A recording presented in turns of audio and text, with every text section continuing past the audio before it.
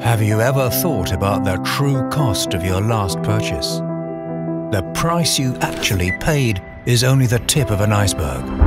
The real impact of our spending behavior has yet to be calculated until now.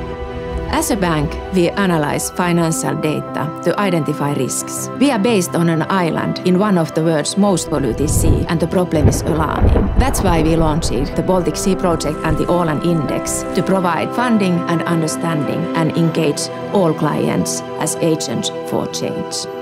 By combining financial risk analysis data, merchant category codes, and carbon pricing set by the World Bank, the index calculates the environmental impact of every transaction.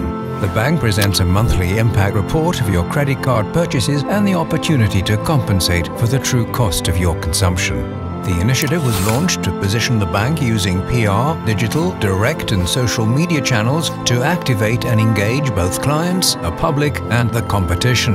But the most effective medium is the credit card, biosourced, that serves as a daily reminder of the need for change.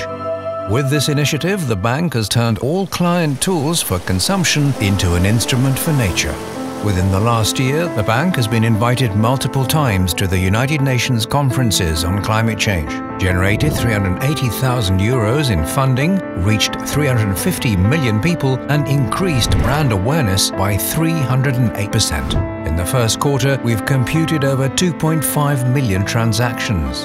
But true change is created together, and the index is offered as an open innovation to all other banks and their clients. If you want to go fast, go alone. If you want to go far, go together.